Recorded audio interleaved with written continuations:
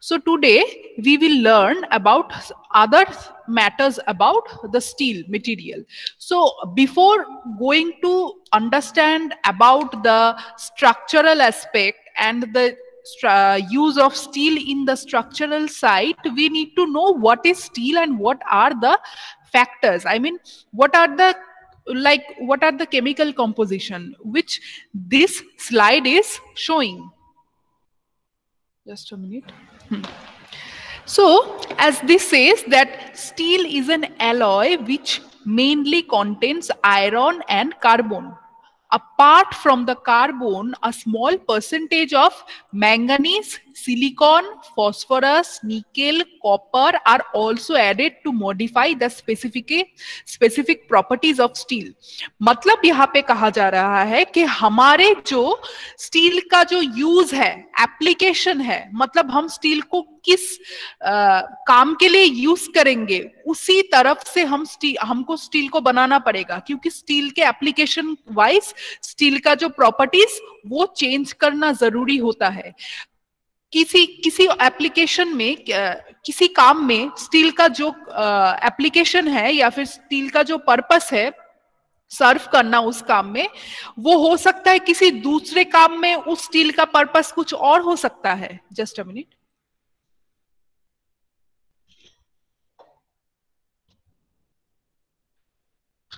मतलब के कहीं ऐसा होता है कि स्टील कि स्टील का यूज़ जो होता है, जैसे कि एक स्टील का जो हमारा चेयर बनता है तो स्टील का चेयर बनाने के लिए उस चेयर को मतलब उस चेयर का क्या स्पेसिफिकेशन होना चाहिए? हाई स्ट्रेंथ लेना क्या बहुत ज़रूरी है उस चेयर को? नहीं। वो चेयर उतना ज़्यादा उसको क्या डक्टाइल होना ज़रूरी है? नहीं। पर अगर देखा जाए, अगर हम स्टील को इन स्ट्रक्चरल एस्पेक्ट में यूज़ करें तो उस स्टील को कुछ कुछ स्पेसिफिकेशन या फिर कुछ कुछ खासियत होना ज़रूरी है। जैसे कि स्टील को डक्टाइल होना बहुत ज़रूरी है।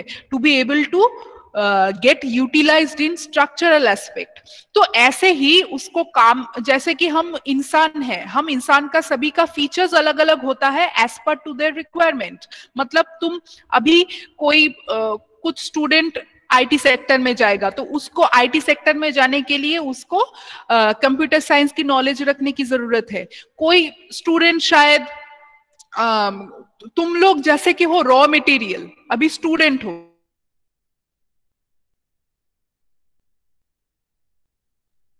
जाएगा तो उसको आर्मी या डिफेंस में जाने के लिए उसको ट्रेनिंग देना पड़ेगा। तो हर एक इंसान को अपने फ़ंक्शन के मुताबिक अलग अलग ट्रेनिंग या फिर स्टडीज़ अप्लाई किया जाता है या फिर पढ़ाई में से गुजारा जाता है।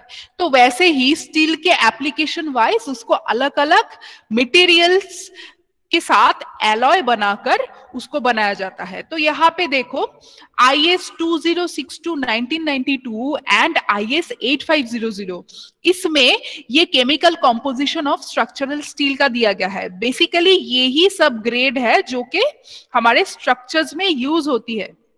ठीक है?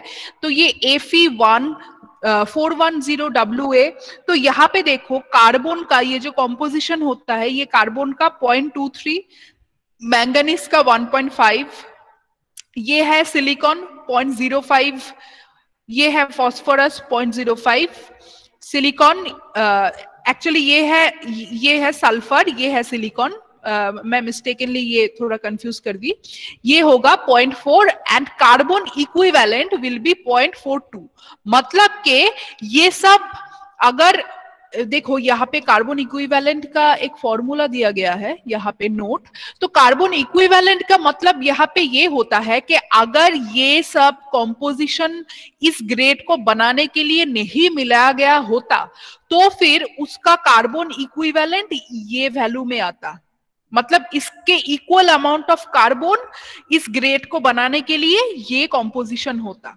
तो सिमिलरली बाकी सब ग्रेड का भी देखो, ये सब कॉरेस्पॉन्डिंगली दिया गया है okay and in the bracket it is given that the terms in bracket denotes the maximum limit for the flat products मतलब जो कि फ्लैट प्रोडक्ट्स या फिर फ्लैट स्पेसिमेन बना जाता है तो उसका जो मैक्सिमम लिमिट है, वो इस ब्रैकेट में दिया गया है। Okay. So next is the types of structural steel अब स्ट्रक्चरल स्टील का जो स्ट्रक्चर uh, के लिए जो जो स्टील यूज़ होता है होता है उसके उसका जो डिफरेंस uh, उसका जो टाइप्स है वो है ये.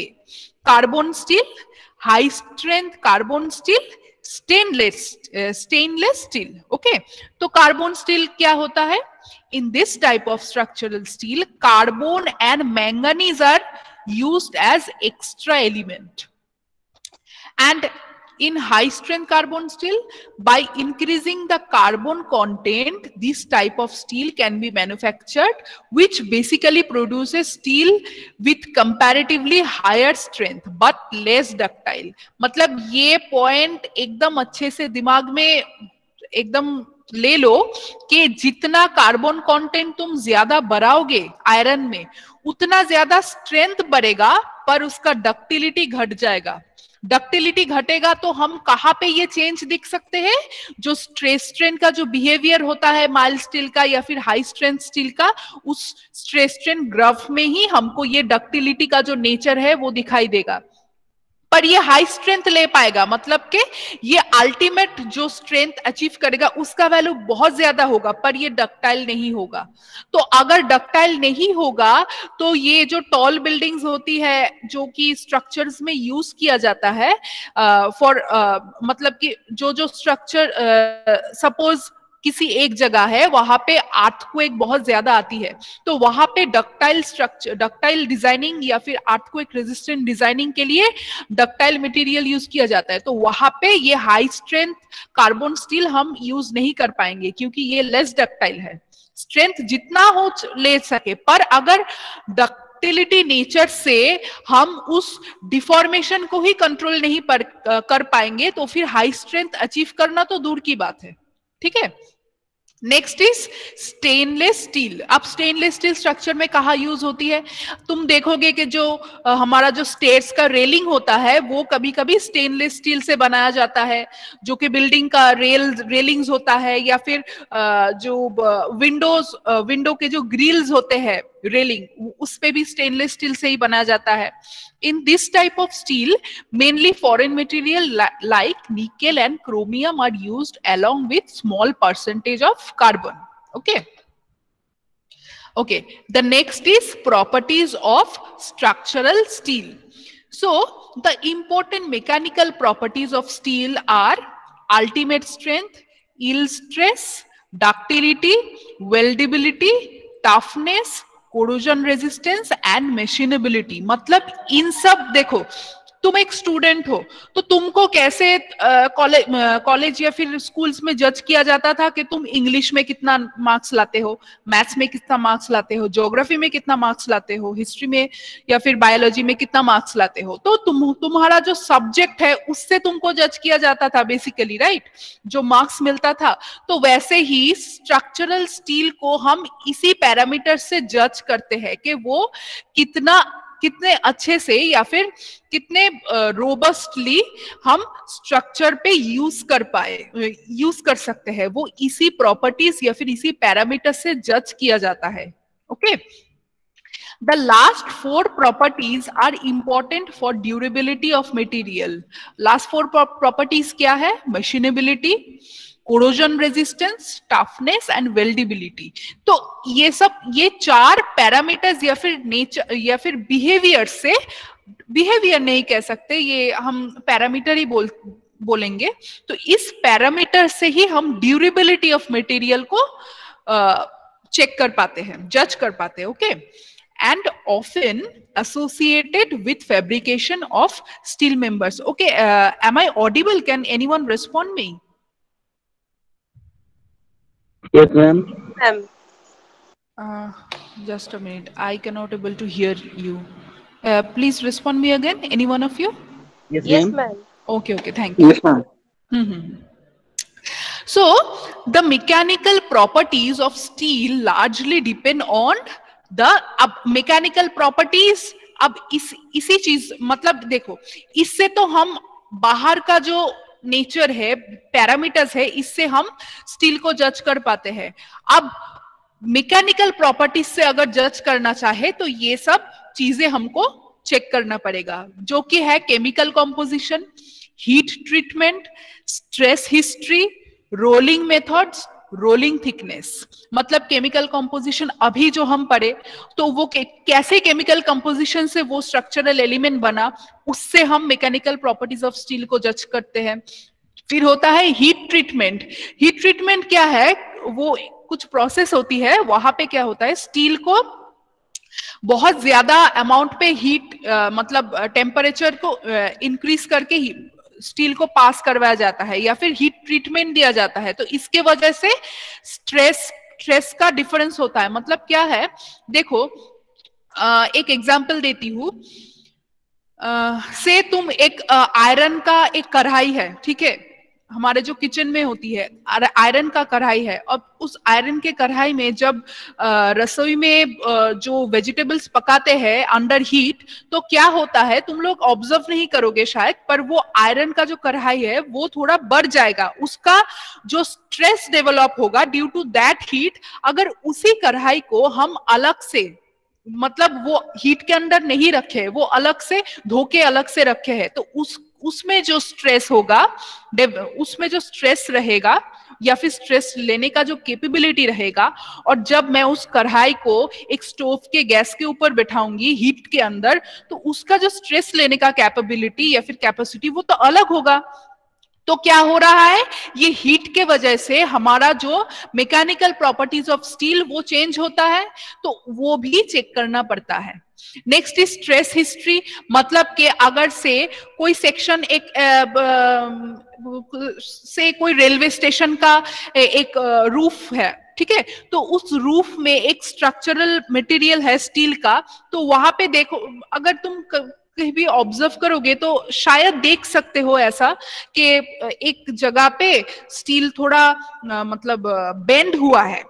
तो उस बेंड होने के वजह से वो जो मेंबर है, उस मेंबर को हम ऐसे जज कर पाते हैं या फिर देख के पता चलता है कि इस मेंबर पे एक स्ट्रेस आया था। उसका एक स्ट्रेस हिस्ट्री था। वो तो बेंडिंग देख के हमको डायरेक्ट समझ में आता है। पर ऐसे बहुत सारे मेंबर्स होती है जो कि डिफॉर्मेशन उतना सिग्निफिकेंट नहीं होता है कि देख के पता नहीं चलता, पर वहाँ पे स्ट्रेस हिस्ट्री रहता है वो बीम बीम के ऊपर। तो उससे भी मैकेनिकल प्रॉपर्टीज़ हम जज कर पाते हैं। फिर रोलिंग मेथड्स रोलिंग मेथड्स जैसे कि मैं पहले क्लास में दिखाई थी, जो रोलिंग करके एक एक सेक्शंस को फैक्ट्री से निकाला जाता है तो वो रोलिंग मेथड से भी हम मैकेनिकल प्रॉपर्टीज़ ऑफ़ स्टील को पहचानते हैं। रोलिंग थिकनेस कितने थिकनेस में वो रोल किया जाता है, वो वो भी उससे भी हमको पता चलता है ओके नेक्स्ट इज़ अब ये फ़िज़िकल प्रॉपर्टीज़ देखते हैं। तो फ़िज़िकल प्रॉपर्टीज़ मतलब के, जैसे कि unit mass of steel unit mass of steel मतलब यूनिट यहाँ पे हम जो यूनिट वेट करके जो हम प्रॉब्लम्स करते हैं ना तो वो ही है।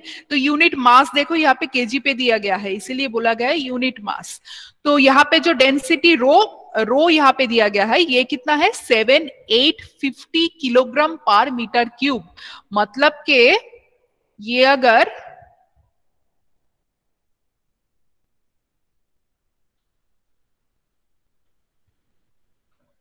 से ये एक क्यूब है है ना? तो ये भी वन मीटर का है, ये भी वन मीटर का है, ये भी वन मीटर का है।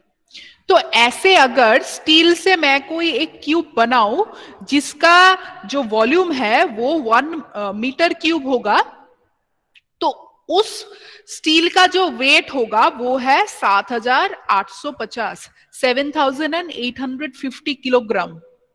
तो ये होगा unit mass of steel. Modulus of elasticity मतलब ई e, जो के होता है स्ट्रेस बाई स्ट्रेन मतलब के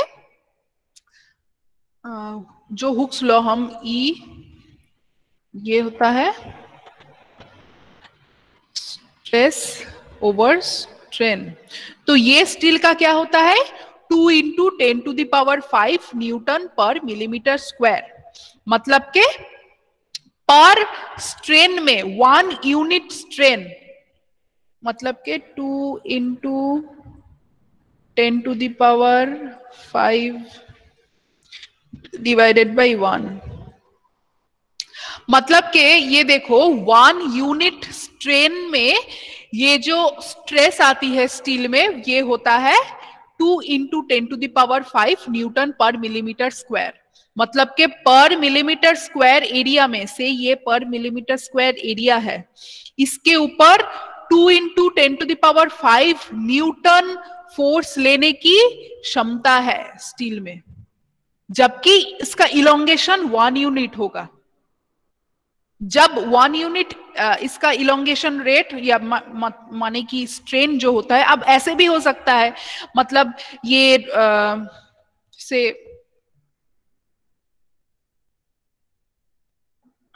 ऐसे भी हम रिप्रेजेंट कर सकते हैं। से ये होता है टेन और ये होगा क्या ऐसे नहीं होता है actually let me just erase it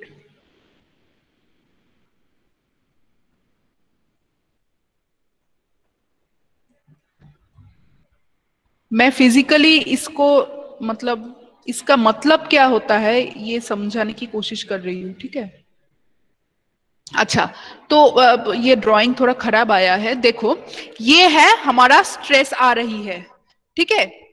एक, अगर मैं एक स्टील के ऊपर एक स्टील में अगर ये स्ट्रेस डेवलप होता है तो उसका जो स्ट्रेन शायद ये आएगा। से सपोज़ ये स्टील नहीं, ये कुछ और मटेरियल एज्यूम कर लो। मैं एक एग्जांपल दे रही हूँ, ठीक है?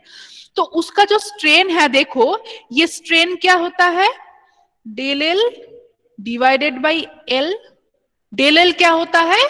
जो इलोंगेटेड जो लेंथ होता है मतलब कोई दैट कोई स्टील मेंबर के ऊपर टी अमाउंट ऑफ़ लोड देने के वजह से जो इलोंगेशन होगी से uh, मैं थोड़ा uh, इस डिरेक्शन को चेंज कर देती हूँ तो फिर इलोंगेशन दिखा पाऊँगी।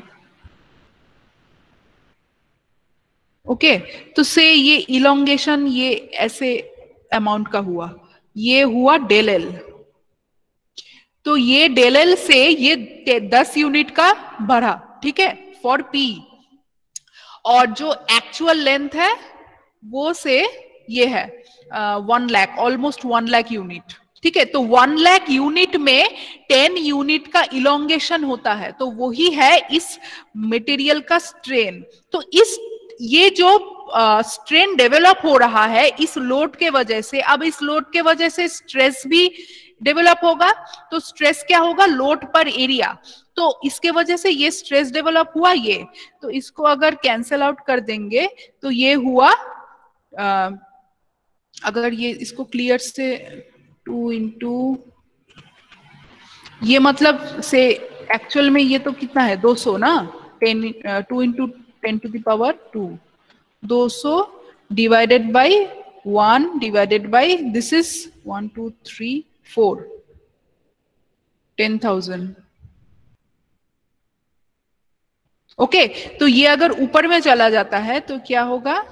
One two three four five six मतलब कि two into ten to the power six होगा, इसका हमारा मॉड्यूलस ऑफ़ इलास्टिसिटी तो ऐसे भी मतलब ये जो वैल्यू आती है ये ten to the power six मैं एक्चुअली एग्जांपल देने के लिए एक एक्स्ट्रा ज़ीरो यहाँ से ले ली पर एक्चुअली अगर देखा जाए तो स्टील का भी ऐसे ही जज होता है ओके okay?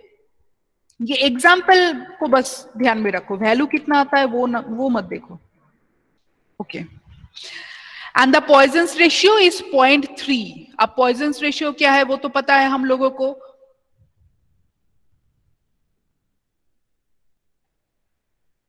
ये अगर हम इसको, इस मेंबर को ऐसे खींचेंगे तो ये एक इलोंगेशन यहाँ पे होगा। इलोंगेशन होगा ना? तो ये इलोंगेशन अब मटेरियल का प्रॉपर्टीज़ तो सेम रहेगा। अगर लेंथ यहाँ से बढ़ रहा है तो कहीं से ज़रूर घट घट रहा है, इसीलिए यहाँ से बढ़ रहा है। एक्स्ट्रा एडिशन ऑफ़ लेंथ तो नहीं हो रहा है ना, दो साइड से? तो घट रहा है ना? तो ये घटेगा कहा? Laterally lateral dimension of the bar तो ये जो अमाउंट ऑफ़ लेंथ बढ़ रहा है, उसके कंपैरिजन में जो अमाउंट ऑफ़ लेंथ लेटरली घट रहा है, उसका रेशियो ही हम पॉइजन रेशियो से जज करते हैं, जो कि पॉइंट थ्री है मतलब के थ्री बाई टेन है ना? मतलब के दस अगर इलोंगेशन बढ़ेगा तो तीन लेटरली घटेगा। तो ऐसे ही इसका बिहेवियर है स्टील का पॉइजन रेशियो से। अब मॉड्यूलस ऑफ़ रिजिडिटी क्या होता है? Shear stress by shear strain जिसका वैल्यू है ये। मतलब उसका जज करने का तरीका इस, इसके जैसा ही होता है। कोएफिशिएंट ऑफ़ थर्मल एक्सपेंशन जो कि है alpha equal to twelve into ten to the power minus six per degree centigrade अब इसको थोड़ा मैं समझाने की कोशिश करूँगी। Twelve divided by two three two, three, four, five, six. अब देखो इसको से मिलीमीटर ओके ये भी मिलीमीटर है तो स्टील का जो थर्मल एक्सपेंशन होता है मतलब एक हीट देने के थर्मल एक हीट देने के वजह से जो वो जो एक्सपेंशन होगा अपने आप से ड्यू टू थर्मल वो कितना रेंज का है वो उसको कैसे नापते हैं कि हर देखो वन हर टेन लाख मिलीमीटर से अगर यूनिट इसका मिलीमीटर ले, इसको मीटर भी ले सकते हो, कोई भी किलोमीटर भी ले सकते हो। मैं मिलीमीटर ले रही हूँ। अगर ये किलोमीटर लोगे तो ऊपर का भी किलोमीटर लेना पड़ेगा। अगर मीटर नीचे का ले रहे हो तो ऊपर का भी मीटर लेना पड़ेगा। तो मैं यहाँ पे मिलीमीटर के ले रही हूँ। तो हर टेन लाख मिलीमीटर में एक्सपेंशन कितना होगा? Twelve millimetre per degree centigrade में मतलब के पर डिग्री सेंटीग्रेड अगर टेम्परेचर में बढ़ाऊ तो हर टेन लाख मिलीमीटर में, ट्वेल्व मिलीमीटर का जो एक्सपेंशन वो स्टील में दिखेगा। तो वो होता है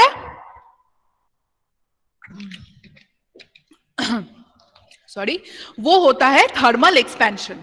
ठीक है, जो जिसका वैल्यू है twelve into ten to the power minus six over degree centigrade. Okay?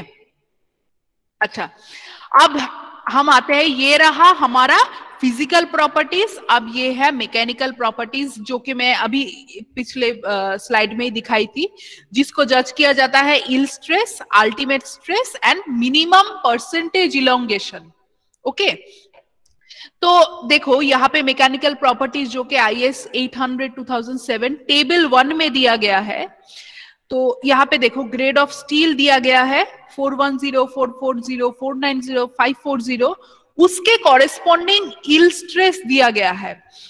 तो इल स्ट्रेस को भी देखो, फिर जज किया गया है उसके थिकनेस के हिसाब से। अब थिकनेस जो है, वो स्टार्ट होता है ट्वेंटी के नीचे से जो जो थिकनेस है मतलब के 20 यूनिट यहाँ यहाँ पे एक्चुअली 20 मिलीमीटर है। तो 20 मिलीमीटर के नीचे वाला थिकनेस का जो स्टील मेंबर होगा वो फाइव एफी फोर्टेन ग्रेड का स्टील uh, का जो थिकनेस 20 से कम होगा उसका इल स्ट्रेस होगा 250 अगर उसका थिकनेस दो बीस से 40 हो जाता है तो वो होगा 240 अगर थिकनेस 40 अगर थिकनेस 40 से ज़्यादा रहेगा तो उसका इल स्ट्रेस 230 तो एक चीज़, एक बिहेवियर नोटिस कर रहे हो कि ग्रेड ऑफ़ स्टील जितना भी रहे इल स्ट्रेस वेरी होता है थिकनेस के ऊपर। ये तो हम दिखे। तो थिकनेस जितना घटता है, हमारा इल स्ट्रेस उतना बढ़ता है। मतलब के थिकनेस के साथ हमारा जो इल स्ट्रेस है, वो इनवर्सली प्रोपोर्शनल है। है कि नहीं? अरे बाबा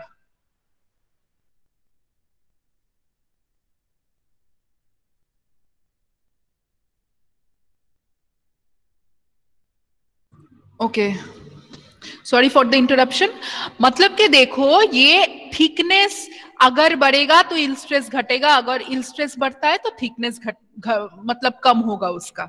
सिमिलरली देखो ग्रेड थोड़ा बड़ा हमारा एफी का ग्रेड थोड़ा बड़ा तो इसका भी देखो, ये इल स्ट्रेस भी घट रहा है according to its increment to the thickness similarly देखो, इसका इल स्ट्रेस बढ़ रहा है। मतलब इसका इल स्ट्रेस तो ग्रेड ऑफ़ स्टील के साथ बढ़ेगा। मतलब जितना ग्रेड ऑफ़ स्टील बढ़ रहा है इल स्ट्रेस भी बढ़ रहा है। पर अगर थिकनेस के हिसाब से देखूँ तो इल स्ट्रेस घटता है, जितना थिकनेस बढ़ता है। तो ये नेचर हमको दिखा, अभी जानने को मिला। ओके अब इलोंगेशन परसेंटेज देखो, ये भी घट रहा है ऑलमोस्ट मतलब ग्रेड ऑफ़ स्टील जितना बढ़ रहा है ultimate tensile strength of steel जितना बढ़ता है इलोंगेशन परसेंटेज भी घटता है, वो भी इनवर्सली प्रोपोर्शनली दिखाई दे रहा है इस टेबल से। ठीक है? ओके नेक्स्ट अब ये प्रॉपर्टीज़ मैकेनिकल प्रॉपर्टीज़ थोड़ा इसको फिर से एक बार पढ़ लेते हैं। ये हम लोग सॉलिड मैकेनिक्स में भी पढ़े थे। Ductility what is ductility it is defined as the property of a material by virtue of which it undergoes large inelastic in example permanent deformation without loss of strength under the application of tensile load मतलब कि ductility कोई property का हम उसको बोलेंगे जबकि उस property में अगर हम कोई पर्टिकुलर लोड देंगे तो वो एक लोड के बाद एक लोड तक ही वो इलास्टिक नेचर में रहेगा, इलास्टिक बिहेवियर दिखाएगा। पर वो लोड अगर थोड़ा इंक्रीज कर देंगे, उसके बाद परमानेंट डिफॉर्मेशन चालू हो जाएगा।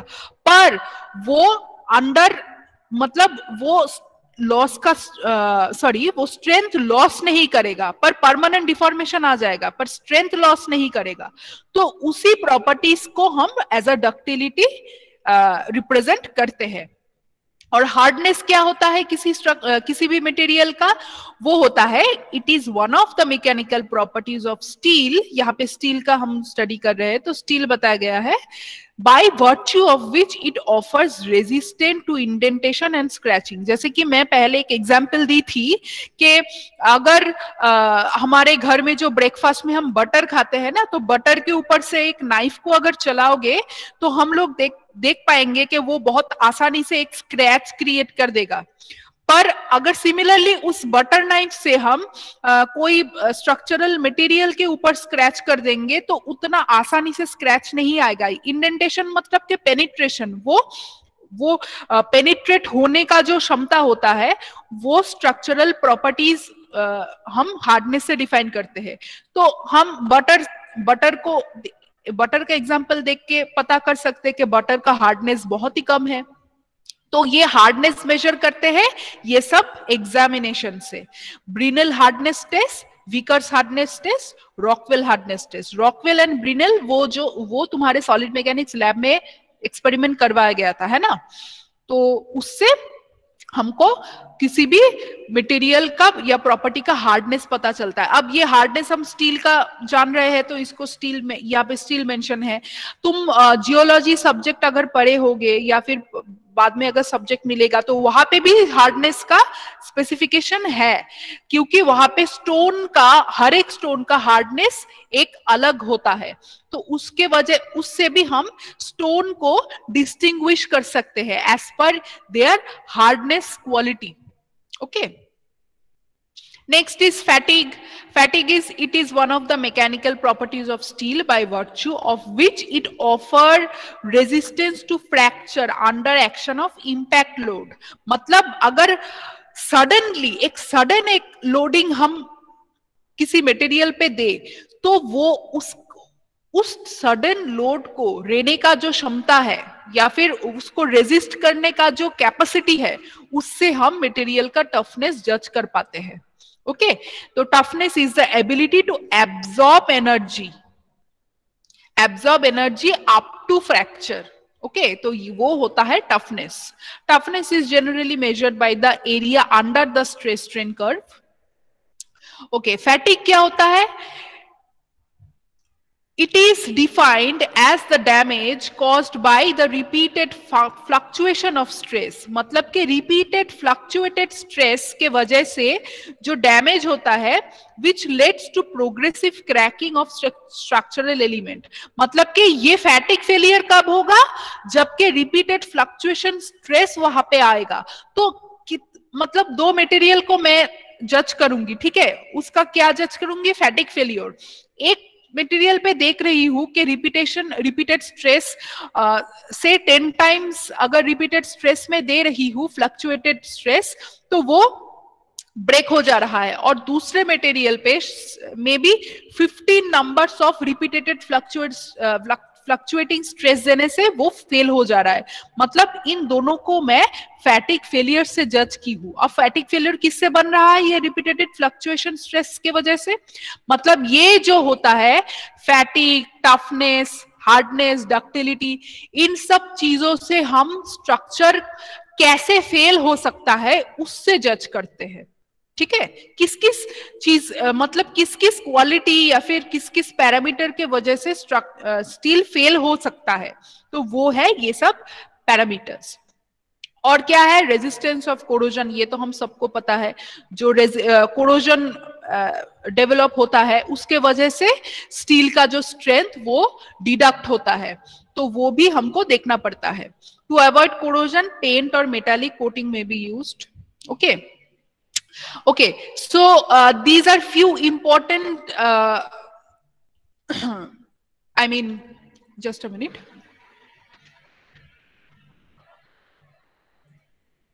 Huh.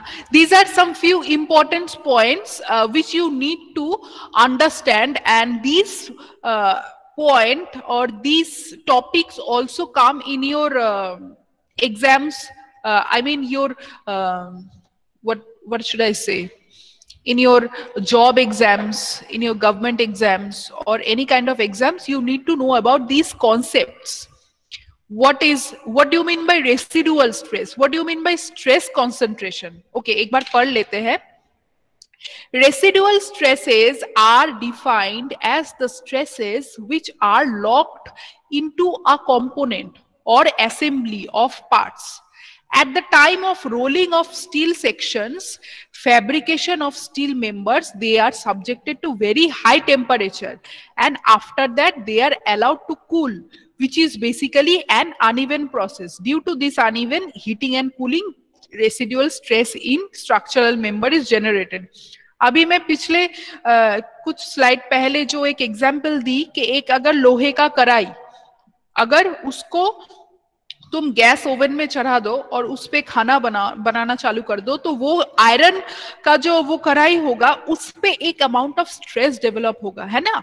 Due to the heating process अब उस कढ़ाई को मतलब वो वो खाना पकाने के तुरंत बाद, वो खाना डाल, किसी और जगह पे डालने के बाद, अगर उस कढ़ाई को तुम धो लो मतलब कूल कर दो सडनली तो वहाँ पे भी एक स्ट्रेस चेंज होगा सडनली तो ये जो स्ट्रेस हम बढ़ा रहे हैं इमीडिएटली और पानी देके उसको इमीडिएटली घटा रहे हैं तो ये स्ट्रेस क्या बहुत जल्दी से एक फेस से और एक फेस से शिफ्ट नहीं हो पाता है।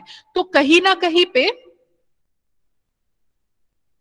आ, एक मिनट तो कहीं ना कहीं पे वो एक जो अमाउंट ऑफ़ स्ट्रेस रेसिडुअल वो एक स्ट्रेस डेवलप होता है तो वो स्ट्रेस को हम रेसिडुअल स्ट्रेस बोलते हैं। हाँ Saurabh Roy you want to ask anything Saurabh Roy you raised your hand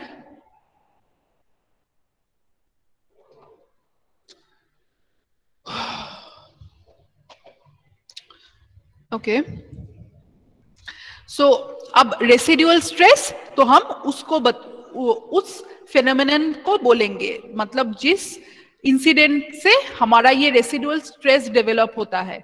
मतलब कि due to uneven heating and cooling this residual stress are develop often okay तो ये क्या होगा, जब बाद में हम उस स्ट्रक्चरल एलिमेंट को, अगर रेसिडुअल स्ट्रेस कहीं पे एलिमेंट पे रह जाता है, और अगर हम उसी मटेरियल को, कोई स्ट्रक्चरल स्ट्रक्चरल असेंबलिंग पर्पस में यूज़ करते हैं इन फ्यूचर जब उस मेंबर को कोई लोड शेयर करना पड़ता है तो वो जो रेसिडुअल स्ट्रेस पहले से रह जाता है, उसके वजह से वो स्ट्रेस या फिर लोड डिस्ट्रीब्यूशन में हैम्परिंग होता है, या फिर प्रॉब्लम आती है तो उस वजह से रेसिडुअल स्ट्रेस जानना बहुत ज़रूरी होता है कोई मेंबर में। अब स्ट्रेस कॉन्सेंट्रेशन क्या है? Stress concentration indicates a highly localized state of stress at a particular location of member. Generally, if there exists an abrupt change in the shape of member, like in the vicinity of notch or holes, the stress generated at the location is several times greater than the stress that would generate without the sudden change in geometry अच्छा इसको simple भाषा में अगर समझाओ एक example देके से ये एक स्टील स्ट्रक्चर है ठीक है? इस पे एक लोड दे रहे हैं ठीक है? तो इस पे जो लोड आएगा इस पे जो लोड दे रहे हैं और इसका जो एरिया है तो उससे हम इसका एक स्ट्रेस हो रहा है आ, स्ट्रेस डेवलप हो रहा है, है ना? P by A load per unit area उसका जो एक स्ट्रेस डेवलप हो रहा है। अब उसी सिमिलर सेक्शन में से अगर मैं यहाँ पे एक होल बना दी, ठीक है? यहाँ पे एक नॉच क्रिएट कर दी या फिर होल बना दी तो क्या होगा? ये जो लोड इस मेंबर पे आ रही थी, उसके वजह से जो स्ट्रेस डेवलप हो, हुआ था, अब ये नॉच क्रिएट कर देने के वजह से या फिर होल क्रिएट कर देने के वजह से वो स्ट्रेस और भी बढ़ जाएगा? क्योंकि क्या? इसका एरिया घट रहा है ना? इसका एरिया घट गया है। तो एरिया अगर घट जाएगा, पहले से लोड हम दे रहे थे टेन किलो न्यूटन। और उसका एरिया था, से two metre square okay kilo newton per metre square unit पे ही हम समझा रहे ओके okay. तो टू मीटर स्क्वायर उसका मतलब के five kilo newton per metre per metre square stress originally था। अगर मैं यहाँ यहाँ पे एक होल बना दी यहाँ पे एक नॉच क्रिएट कर दी तो ये एरिया घट जाएगा पूरा। तो एरिया घट के से लोड तो मैं पहले से एक ही दे रही हूँ। एरिया घट के से 1.5 हो जाएगा। से अज्यूम करो कि 1.5 मतलब उत, उतना बड़ा होल तो मैं नहीं बनाई हूँ। तो यहाँ पे हमारा स्ट्रेस कितना आएगा अभी? ऑलमोस्ट हमारा 6.6 सेवन या फिर सिक्स पॉइंट सेवन ही समझ लो। देखो, ये पहले था five kilo newton per metre square, अभी क्या 6.67 kilo newton per metre square? मतलब स्ट्रेस बढ़ गया, है ना? तो ये स्ट्रेस बढ़ जा रहा है किसी एक पर्टिकुलर लोकेशन पे, अगर मैं एरिया घटा दू तो। तो यही बात यहाँ पे समझाया गया है कि generally if there if exist an abrupt change in shape अगर से अगर ये अगर होल ना बना के, से यहाँ पे अगर शेप चेंज किया जाता, से अगर इस प्लेट का शेप अगर ऐसे बनाया जाता, से ये पूरा रिजिड बॉडी रहता। तब भी हमारा स्ट्रेस बढ़ता। तो the shape of member like in vicinity of notch, अब होल का भी एग्ज़ाम्पल दिया गया है। The stress generated at that location is several time greater than the stress that would be generate देखो, एक एग्ज़ाम्पल देती हूँ। मान लो आप अपने हाथ का जो मतलब पाम है तो उस पाम के ऊपर तुम एक पेन से किसका एग्ज़ाम्पल दू? तुम अपने हाथ के जो पाम है, से मैं बहुत गंदा एक हाथ ड्राइंग करने की कोशिश करती हूँ, से ये तुम्हारा हाथ है, ठीक है? तो यहाँ पे तुम दूसरे हाथ के उंगली से यहाँ पे एक प्रेशर क्रिएट कर रहे हो, जो अक्यू प्रेशर हम प्रैक्टिस करते हैं ना तो एक उंगली से यहाँ पे प्रेशर क्रिएट कर रहे हो। ठीक है? अब इन द सिमिलर फ़ैशन वो उंगली हटा के अगर तुम इसी पाम के इसी पॉइंट पे अगर एक सेफ्टी पिन का या फिर कॉम्पस का पिन यहाँ पे अप्लाई करोगे तो क्या होगा? ज़्यादा दर्द होगा कि नहीं? यहाँ पे ज़्यादा दुखेगा? एक उंगली दबाने से ज़्यादा दुखता है, एक सेफ्टी पिन या फिर कॉम्पस के पिन को अगर यहाँ पे प्रेस करूँ तो वो क्यों होता है? वो इसी वजह से होता है। क्योंकि देखो हम जब उंगली को दबाते हैं इस पाम के ऊपर तब क्या होता है? वो उंगली का एक क्रॉस सेक्शनल एरिया होता है। तो वो उंगली का क्रॉस सेक्शनल एरिया बहुत ज़्यादा होता है। तो उस वजह से हम जो लोड दे रहे हैं तो P इक्वल टू ए तो उंगली का जो एरिया है वो बहुत ज़्यादा होता है। तो उंगली का एरिया अगर ज़्यादा हो, होगा तो हमारा स्ट्रेस क्या होगा? घट जाएगा। अगर एरिया बढ़ेगा तो स्ट्रेस घटेगा ना, ये इनवर्सली प्रोपोर्शनल है तो उस वजह से हमको ज़्यादा पेन नहीं होता है। पर अगर उसके जगह पे कॉम्पस का पिन यहाँ पे अगर चुभा दी मतलब कि एरिया अगर घट जाता है तो हमारा स्ट्रेस बढ़ेगा, इसीलिए हमको पेन ज़्यादा फील होता है, दुखता है।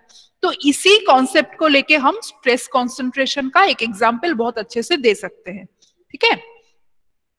ओके okay, अब ये जो मेन पार्ट है इसको मैं समझा दू। Stress strain curve of mild steel ये तो ऑलरेडी तुम सॉलिड मैकेनिक्स में पढ़ ही चुके हो। Let me recapitulate it once again so ये होता है हमारा से ये एक बार है। ठीक है? तो इस पे हम एक सॉरी एक स्ट्रेस प्रोवाइड सॉरी एक फोर्स प्रोवाइड कर रहा है। पी चलो। तो अब ये पी जो फोर्स अप्लाई कर रहे हैं इसको इसके वजह से जो जो स्ट्रेस डेवलप होगा वो इस एक्सिस में दिख रहा है और इसके वजह से जो स्ट्रेन डेवलप होगा वो इस एक्सिस में दिख रहा है। ठीक है? अब देखो ये जो हम जितना लो, स्ट्रेस लोड बढ़ा रहे हैं तो लोड बढ़ा रहे ठीक है? और यहाँ साइड में, हमारे कंप्यूटर में ये स्क्रीन, ये ग्राफ भी बन रहा है। तो ये एक लोड हम अप्लाई कर रहे कर रहे कर रहे ये ये ग्राफ भी बढ़ता जा रहा है। तो ये ए पॉइंट तक आके देखेंगे कि ये, उसके बाद का जो पॉइंट है ए बी ये ए ए पॉइंट तक का जो ये सिग्निफिकेंस क्या है? ये सिग्निफिकेंस है कि देखो, ये सिग्निफिकेंस है कि हमारा इस एक certain amount of load apply करने के वजह से हमारा स्ट्रेस और स्ट्रेन का जो ग्राफ यहाँ पे बन रहा है, वो लीनियर है। वो लीनियर है। स्ट्रेट लाइन बन रहा है। और लीनियर मतलब के हमारा जो डेफिनेशन हुक्स हुक्स साहब ने बताए बताए थे कि हमारा इलास्टिक जो नेचर है, वो लीनियर प्रॉपर्टी से बनता है। मतलब के इस अमाउंट तक अगर लोड अप्लाई करते हैं इस मेंबर पे तो वो जोन तक इलास्टिक नेचर पे रहता है। अब इलास्टिक नेचर पे रहता है मतलब क्या है? अगर इस अमाउंट ऑफ़ से तुम एक लोड प्रोवाइड कर रहे हो, ठीक है? तो इस अमाउंट इस सेगमेंट के आने के पहले, थोड़ी थोड़ी देर पहले से इस इस अमाउंट पे ही, अगर लोड को तुम छोड़ दिए से अनलोड कर दिए लोड देना बंद कर दिए। तो ये स्पेसिमेन क्या होगा? ये फिर से अपने पोजीशन पे आने की क्षमता रखेगा। इस जोन तक। ठीक है? अब इसके बाद वाला जो जोन डेवलप हो रहा है, कुछ मैं फिर से लोड अप्लाई कर रही हूँ, ठीक है? उसके बाद वाला जो जोन डेवलप हो रहा है, उसमें देखेंगे कि ये जो स्ट्रेन ये स्ट्रेन भी सिग्निफिकेंटली बढ़ रहा है। Is with compare to the application और the development of stress strain बढ़ रहा है। अगर एक सर्टेन अमाउंट ऑफ़ स्ट्रेस के कंपैरिजन में स्ट्रेन ज़्यादा बढ़ रहा है उसका मतलब ये है कि वो स्ट्रक्चर या फिर एलिमेंट अब इलास्टिक नहीं रहा। वो अब प्लास्टिक बनता जा रहा है। तो वो जो प्लास्टिक बनता जा रहा है वो जो वो इस जोन पे आ, आते वक्त वो ऑलमोस्ट प्लास्टिक बनने की वो जो फ़ेज़ है, उस पे चला जा रहा है। ठीक है? तो इसको अगर यहाँ पे डिफाइन किया गया है, देखो, ये पार्ट ओ ए जो है, ये है in the region the stress is proportional to strain इसीलिए लीनियर पैटर्न फॉलो कर रहा है and is called the limit of proportionality मतलब ये ओ ए तक हमारा हुक्स जो हुक्स लॉ पूरा ओबे करता है मटेरियल उसके बाद part A B after reaching A change in strain is rapid compare to the that of stress मतलब कि जैसे कि मैं बताई, ये ए बी तक जब आ गया, देखेंगे कि स्ट्रेस के कंपैरिजन में स्ट्रेन ज़्यादा बढ़ रहा है। To that but still the material behaves elastically but to elastic limit B मतलब फिर भी इलास्टिक इलास्टिक नेचर फिर भी दिखाई देता है, पर बी तक ही वो सीमित है ओके उसके बाद सी डैश रिप्रेजेंट करता है अपर इल्ड सी रिप्रेजेंट करता है लोअर इल्ड ये C dash upper yield C lower yield अब ईल्ड पॉइंट क्या होता है? ईल्ड पॉइंट वही पॉइंट होता है कोई भी स्पेसिमेन का, जिस तक वो हुक्स को जितना हो सके ओबे कर पाता है। हुक्स लॉ जितना हो सके ओबे कर पाता है। मतलब कि स्ट्रेस प्रोपोर्शनल टू स्ट्रेन जितना हो सके, वो वो तो एक्चुअली इस तक ही रहता है, पर इलास्टिक लिमिट इलास्टिसिटी जो नेचर होता है इलास्टिक लिमिट इस तक होता है। और इलास्टिसिटी नेचर इस तक बनाए रखने की कोशिश करता है फिर भी स्पेसिमेन तब तक ओके तो वो होता है अपर इल्ड वो ये होता है lower yield part C D beyond yield point अब इल्ड पॉइंट छोड़ के C D C D point जो है, ये ये इल पॉइंट छोड़ देता है। अब क्या होता है? Flowing plastically without any significant increase in stress अब क्या होता है? देखोगे कि स्ट्रेस उतना नहीं बढ़ेगा, पर कंपैरिजनली ये इलोंगेशन ये स्ट्रेन बढ़ जा रहा है। इसका मतलब है कि अभी ये प्लास्टिक नेचर पे पूरा फॉलो कर कर रहा है। Okay okay. उसके बाद D E after reaching point D the strain hardening in the material begins which facilitates requirement of higher load to continue deformation उसके बाद जो जोन आता है, वो है ये डी पॉइंट ये हमारा जो डीप पॉइंट ये स्ट्रेन हार्डनिंग चालू होता है। स्ट्रेन हार्डनिंग क्या है? ये अब इलास्टिसिटी प्रॉपर्टी तो इसका खत्म हो गया। अब ये मटेरियल कोशिश करता है कि तुम मुझे जितना लोड दो, मैं जितना हो सके डिफॉर्म हो जाऊँ फेल होने के पहले। मतलब मैं जितना हो सके वो डिफॉर्म होने की कोशिश करूँगी फेल होने के पहले। टोटली कोलैप्स होने के पहले। वो होता है एक स्पेसिमेन का स्ट्रेन हार्डनिंग वो बहुत हार्ड कोशिश करता है। वो स्ट्रेन बहुत स्ट्रेन बढ़ जाता है पर स्ट्रेस उतना नहीं बढ़ता है। तो वो proper this phenomenon is called stress hardening strain hardening sorry E represents the ultimate stress अब ये जो पॉइंट ई e, ये होता है ultimate stress of the specimen ये स्पेसिमेन का अल्टीमेट स्ट्रेस अब इस मतलब इस पॉइंट के बाद हमारा जो स्पेसिमेन है ये पूरा फेल हो जाएगा पूरा कोलैप्स हो जाएगा। जैसे कि अगर तुम समझ लो कि ये स्पेसिमेन एक पेशेंट है ठीक है? तो इस पे तुम बहुत स्ट्रेस दे रहे हो। वो उसके साथ अपना जो आ, आ, क्या बोलेंगे जो इम्प्रूवमेंट है वो हेल्थ वाइज इम्प्रूव भी कर रहा है। जितना तुम उसको दवाई दे रहे हो वो इम्प्रूव भी हो रहा है। उसके बाद क्या हुआ? पेशेंट को तुम अगर दवाई देना चालू कर दो, वो फिर से देखेंगे कि इस पॉइंट पे आ वो पेशेंट फिर दोबारा पिछले अपने वो हेल्दी फॉर्म था, उस हेल्दी फॉर्म में लौट नहीं आ पा रहा है। ठीक है? पर फिर भी वो पेशेंट तो ज़िंदा है, वो ठीक है, पर वो अभी मतलब ज़िंदा है, पर ठीक नहीं है, वो पिछले अपने फ़ेज़ में लौट नहीं पा रहा है। उसके बाद फिर से दवाई देना चालू करोगे तो क्या होगा? वो धीरे धीरे कोलैप्स होता मतलब वो धीरे धीरे डिटोरिएट करता रहेगा। वो पिछले फ़ेज़ में तो नहीं जाएगा, पर वो डिटोरिएट करता रहेगा। मतलब वो अभी तक मरा नहीं, पर जा रहा है, जो कि प्लास्टिक फॉर्म को रिप्रेजेंट कर रहा है। उसके बाद अगर फिर से तुम दवाई दो तो क्या होगा? इस पॉइंट पे आके वो पेशेंट मर जाएगा। ये है, ऐसे हम देखते हैं स्टील uh, का जो बिहेवियर ठीक है? Now F represents the breaking stress the stress corresponding to breaking load अब ये फिर से अगर तुम क्या होता है ये इसके बाद कोलैप्स हो जाता है ना? इसके बाद कोलैप्स हो जाता है ना तो ये फिर से दोबारा अपने पहले वाले पॉइंट पे आ जाता है। तो ये होता है हमारा एफ़ ये जो रिप्रेजेंट किया गया है ये होता है ब्रेकिंग स्ट्रेस ओके अच्छा तो अच्छा अभी ए, एक मिनट में